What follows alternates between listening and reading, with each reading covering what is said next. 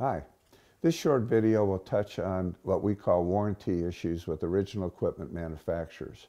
We know that many times your customers are abusing the equipment, abusing the parts, using the equipment outside the range it was designed for. Sometimes parts don't hold up where the customers are not abusing the equipment. We have a very broad and deep knowledge of the properties of materials and design and since 1977 we've been in the reliability, equipment reliability business.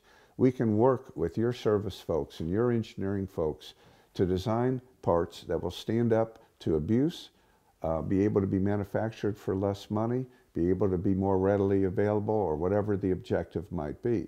If you'd like more information of how we can actually get you happier customers, uh, reduce warranty costs, uh, less okay finger pointing, give us a call. We'll see what we can do for you. Thank you for taking the time to look at this introductory video. There should be more information on the website, or again, give us a call. We'd love to hear from you. Thank you.